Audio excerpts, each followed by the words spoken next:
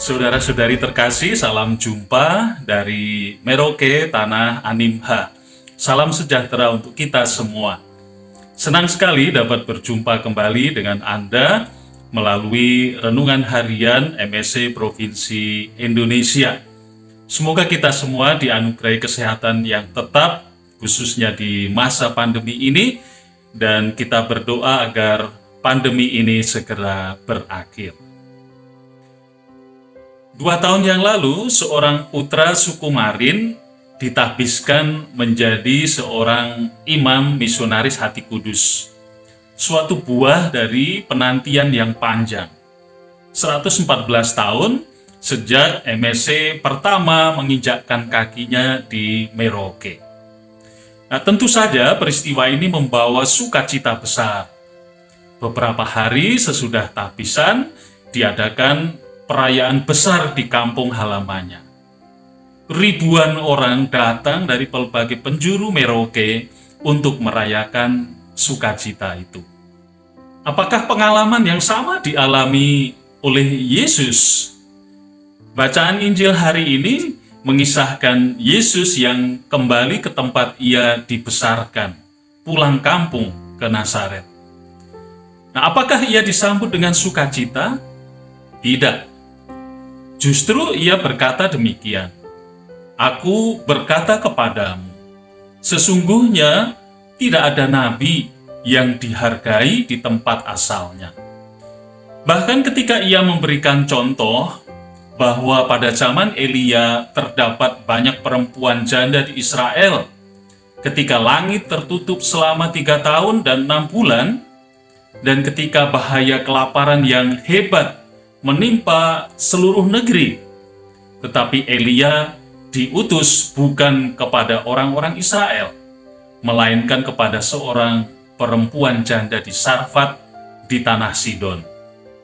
Dan pada zaman Nabi Elisa, banyak orang kusta di Israel dan tidak ada seorang pun dari mereka yang ditahirkan selain daripada Naaman, orang Syria itu. Mendengar ini, maka orang-orang Nasaret marah besar, menghalaunya keluar kota, dan hampir saja melemparkan Yesus dari tebing gunung di mana Nasaret terletak. Ia mengalami penolakan dan kekerasan. Panggilan menjadi nabi tentu saja berat. Tak seorang pun memilih menjadi nabi. Akan tetapi, benih kenabian itu telah tertanam dalam diri kita sejak kita dibaptis. Dan jika kita sungguh-sungguh menghidupi baptisan kita, maka benih itu telah bertumbuh secara penuh.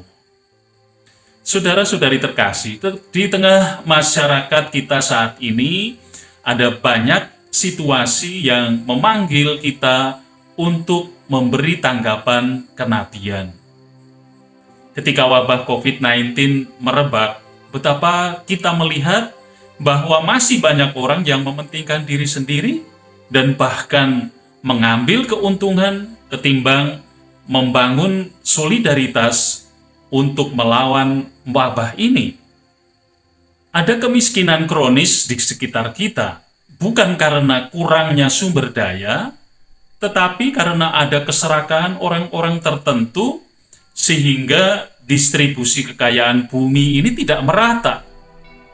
Belum lagi korupsi yang endemik dan sistematik amat susah dibasmi.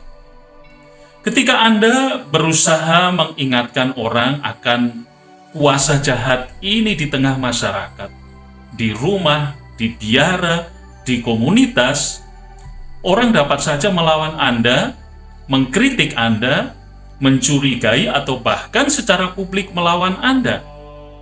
Nah, siap menjadi nabi? Siap ditolak seperti Yesus?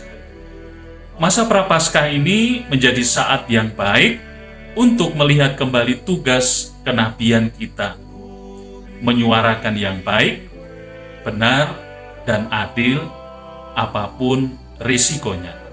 Selamat memasuki pekan yang baru selamat menjadi nabi. Tuhan memberkati.